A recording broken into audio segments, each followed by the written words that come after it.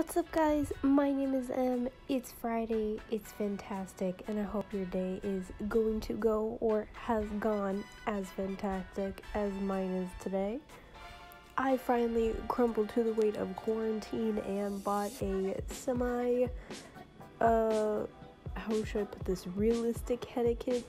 The henna kit that I bought, um, the henna doesn't come in like a powder like it usually does it came in these prepackaged bottles and it was slightly a little bit more um, synthetic feeling but it still came out all right.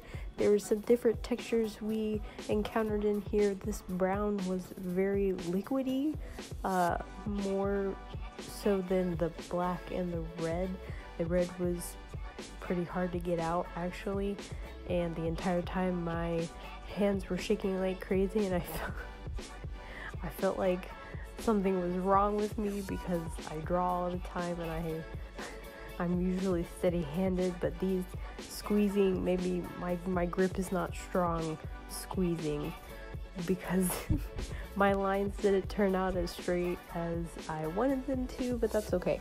I had a lot of fun drawing on my hand um, it came out pretty cool and I loved the experience. I didn't break out. I did test uh, on my thumb before I went in and did my whole hand. I didn't have an allergic reaction, thank goodness, because that's just $17 down the drain if I did. But uh, yeah, I just went crazy using all the colors and uh, drawing on my hand. It was a lot of fun. It was very relaxing. And I hope you guys enjoy.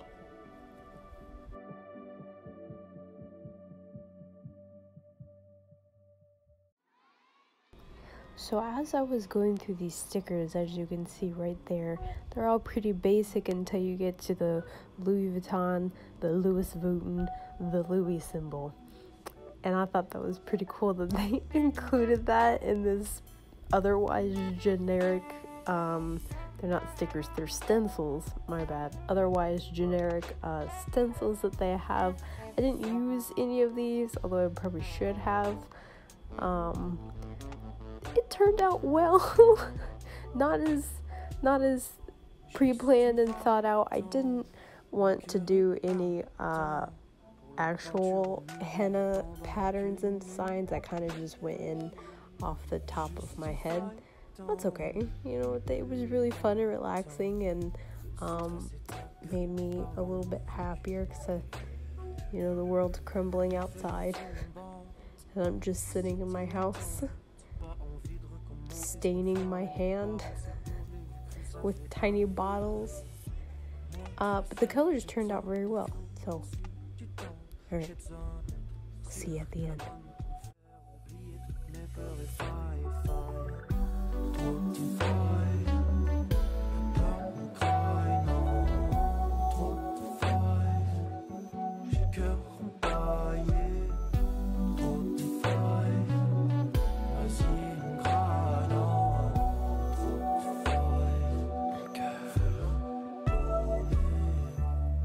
Behind.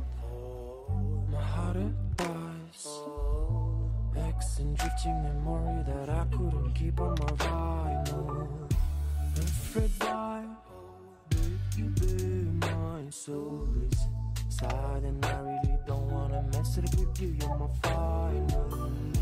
Gotta fix it out, feeling and chasing to see beyond doubt. And gotta be a fool to search beside you Gotta fix it out, feeling and chasing to see loud and gotta be a fool to search beside you.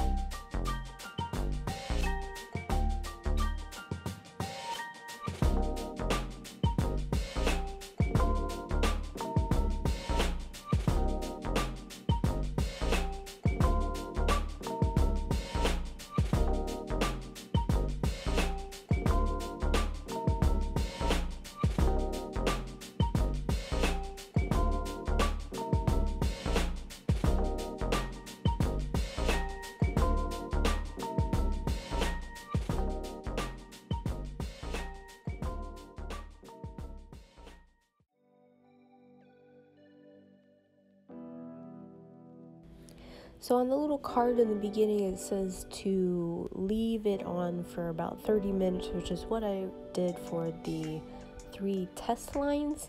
And that amount of evenly distributed line of synthetic henna works pretty good. Um, but my whole hand, there were some places where I put a lot that needed to dry a little bit longer, like the flower and stuff. Um, so I actually left it on for maybe like two hours. I really didn't count, I just kind of did other stuff. Um, but it was super satisfying to peel off the crusty outside. that kind of sounds really gross. Um, and the part where it went towards my arm, I have a lot of arm hair. Don't judge, no shame and it kind of pulled at it and it really hurt. So if you guys get the same kit, um, I I do recommend it for the color factor and the no mess factor. But if you have arm hair or any place you want to put this that is hairy, I recommend shaving it. It's going to save you a lot of pain. Thanks for watching, guys.